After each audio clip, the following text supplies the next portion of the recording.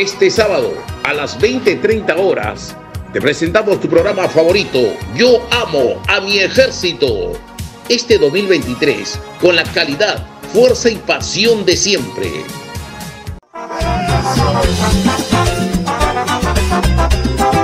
Un amplio análisis sobre el rol del soldado al servicio del país y nuestra solidaridad con los veteranos de guerra que lucharon por la paz del país y hoy son perseguidos y enjuiciados.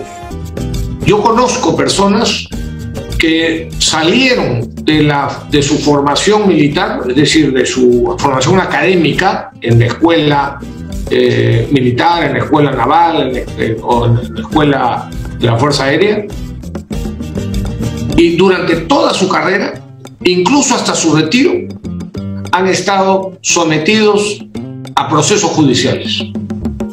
Y eso no creo que se dé en ningún otro país del mundo, porque es una verdadera vergüenza.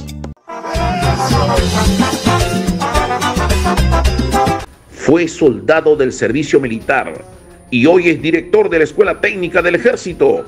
Nos narra su vocación de servicio e invita a los jóvenes a postular al alma mater de los supervisores técnicos y suboficiales. Para llamar a todos los jóvenes que cumplen los requisitos que para que postulen a la Escuela Técnica del Ejército, ya que es un modo de vida y a la vez le vamos a formar y entregar a la patria hombres de bien en provecho de nuestro querido Perú.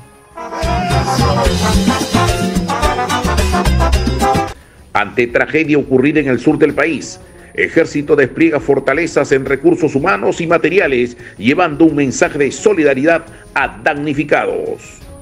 Se llevó una primera ayuda, ya se tiene una serie de, eh, de artículos listos para llevar a la zona de desastre.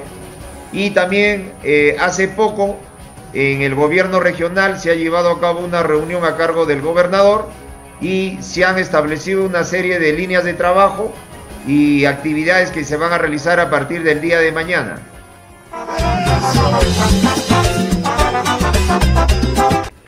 Ejército y empresa privada realizan alianza estratégica y lanzan el Pan de la Paz como símbolo de unión y ayuda solidaria a cientos de damnificados por los desastres naturales.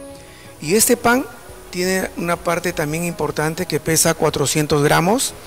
Tranquilamente se conserva 7 días sin necesidad de condiciones especiales porque llega en el momento más necesitado.